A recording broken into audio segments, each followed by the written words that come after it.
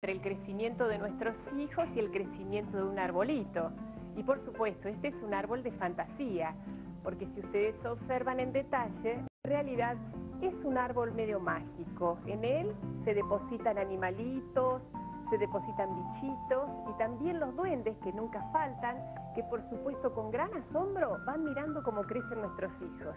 Bueno, creo que realmente, además de una linda decoración para, el dormitorio, es un buen estímulo para crecer, por supuesto. ¿Cuántas veces nos pasa con nuestros hijos?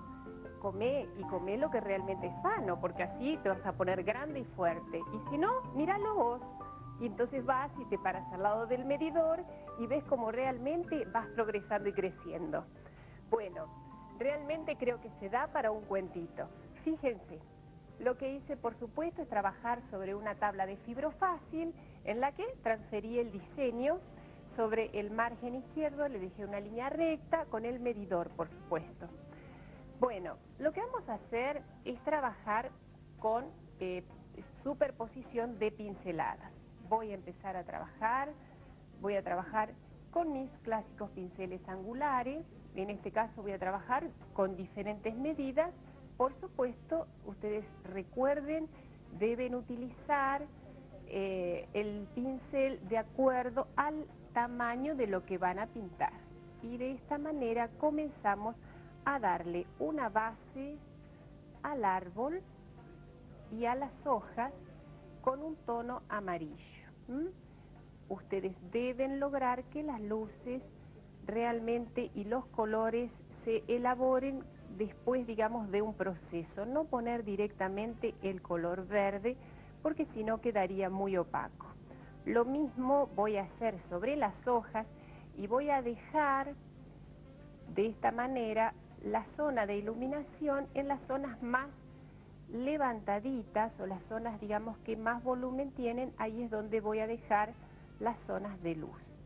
Fíjense que todavía yo no estoy trabajando con las nervaduras. Una vez que yo di bases a todo lo que sería la parte del follaje del arbolito, entonces voy a trabajar con algunas bases, en este caso planas.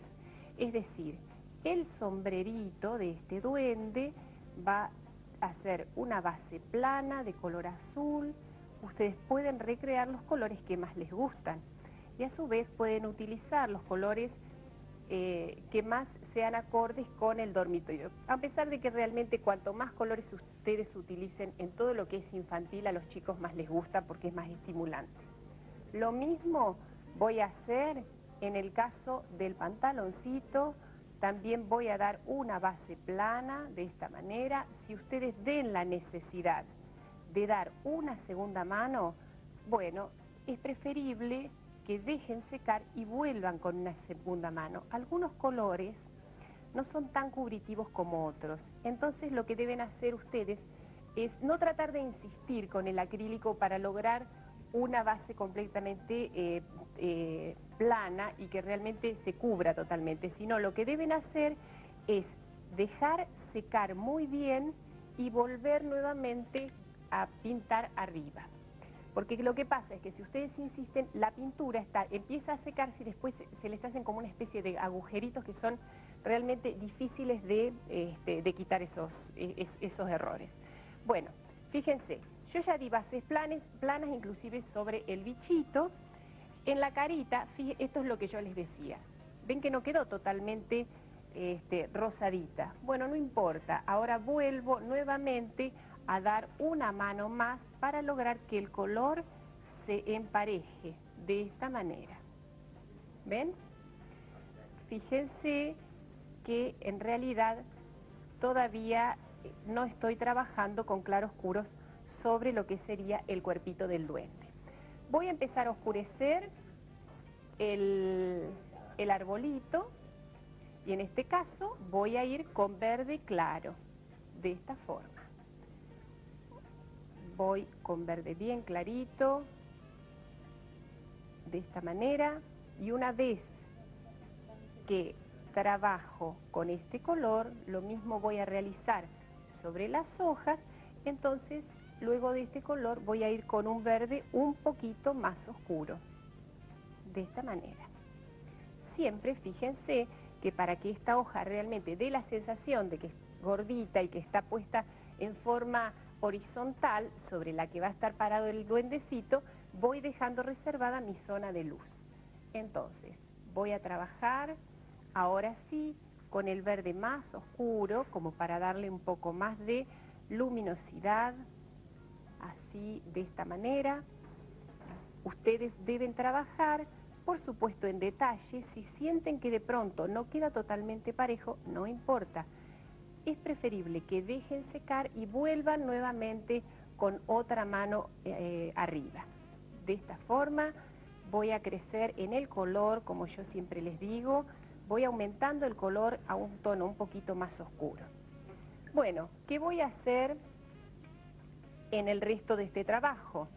Voy a empezar a dar algunas sombritas con color negro en el pantaloncito del muñeco.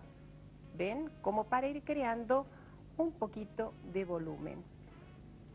Ahí, de esta forma, voy a crear un poquitito de volumen en el pantalón del muñeco.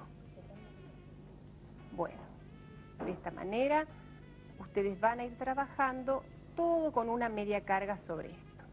Una vez que hayan realizado todo este trabajito, fíjense, voy a trabajar con un poquito de color negro, esta vez sobre las hojas, sobre las hojas como para crear esta, ven, este volumen ahí.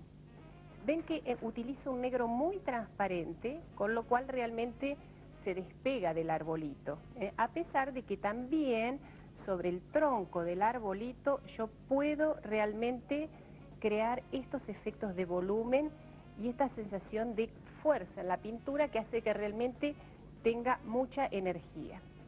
¿Qué voy a hacer en el caso de las caritas? Fíjense, lo que hago es, pinto los ojitos, ¿no es cierto? Pinto los ojitos, ahí las pupilas, voy a hacer el delineado alrededor, luego tomo color azul y trabajo alrededor de los ojitos. De esta forma voy armando de a poquito la carita, ahí, como para crear este efecto de, em, de carita de sorpresa que va a tener, que voy a hacer? La nariz y la boquita va a ser así, porque realmente este duende está tan sorprendido de lo que ese nenito creció, que realmente se expresa de esta manera. ¿Cómo voy a hacer con el pelito? Bueno, lo que van a hacer simplemente es superponer, fíjense, acá pinceladitas sueltas con un poquito de siena natural, así, y pueden intercalar un poquito de siena tostada o depende ustedes del color que le quieran dar realmente al pelito. Es decir, ven, de esta manera van trabajando con pinceladitas sueltas o lo que se, se llamarían pinceladitas básicas. Además, sobre la carita lo que voy a hacer es, con un tono naranja, pero bastante suavecito, voy a crear un poquito, digamos, de volumen como para que realmente se diferencien, ¿no es cierto?, las distintas partes de la carita, la perita, que se separen así del cuello. Con este mismo trabajo voy a ir a los bracitos, puedo también crear ahí el cachetito de este muñequito, de este duendecito. En el caso de la camisetita, con el mismo color con el que yo realicé las rayas de la remera, con ese mismo color voy a sombrear toda la remerita y de esta manera voy definiendo todo el, eh, los bordes y el volumen de la remera. También puedo trabajar aquí con un poquitito de negro como para que esto realmente tenga mayor realismo. ¿Ven? Bueno, todo este mm, diseño tiene este mismo trabajo, es decir, una superposición de colores y un trabajo de mucho detalle. En el caso de este gusanito, lo que van a hacer es dibujarle nada más que los ojitos, las antenitas, todos los detalles que ustedes puedan agregar. Eh, si ustedes observan, en mi trabajo terminado también tiene flores este árbol, porque en realidad este, va creciendo y van surgiendo florcitas. Pero como un detalle decorativo, lo que hice fue agregarles como si fueran manchitas con el mismo tono de las flores. Para finalizar, fíjense cómo hago las nervaduras. Voy a trabajar con un poco de amarillo, puede ser también con un poquito de verde, y lo que hago es hacer unas nervaduras gruesas, ¿no es cierto? Y lo mismo es esta ramita, ¿no es cierto?, que es sobre la que está apoyado este duendecito, ¿ven? Ahí, es una ramita más bien gruesa, es decir, no hay detalle muy refinado en este trabajo. Ustedes saben que los trabajos infantiles en realidad a mí me gustan, tantos como el que hicimos en Neuquén, así que a toda la gente de Neuquén les mando un beso muy grande. Les cuento cuáles son los materiales que utilicé para trabajar en este detalle.